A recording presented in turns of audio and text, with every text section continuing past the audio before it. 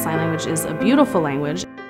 It's also a language that's very complex, that has grammar and structure and syntax and semantics. The most common misconception that hearing people have of deaf culture and even sign language itself is that it's based on English. But what they don't know is that American Sign Language is actually a language within itself. And American Sign Language is a lot of variety of things. The use of your hands, facial expressions, and the use of space. It is such a cool language and so many hearing students are motivated to learn American Sign Language. Many high schools and colleges offer American Sign Language courses now, which is wonderful.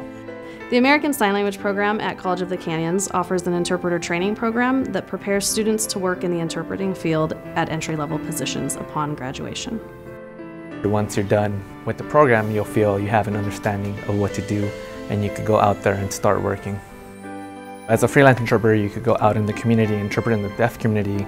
You could have things such as medical appointments. You could go interpret for K through 12. I may be in a math class one day, at an elephant farm another day, and then a biology lab um, the following day. It captivates you and you really want to put your whole heart into it and work towards like a brighter future where you get to have communication with all kinds of people.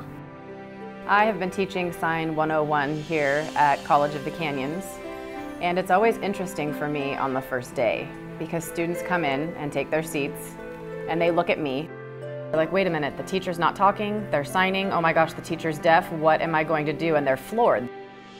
And then as the semester progresses, we develop this connection and this trust, you know, between myself and the student, and that is an amazing process.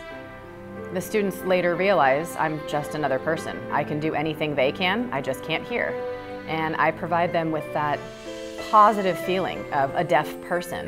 The fact that deafness is not a disability, it's not considered a disability.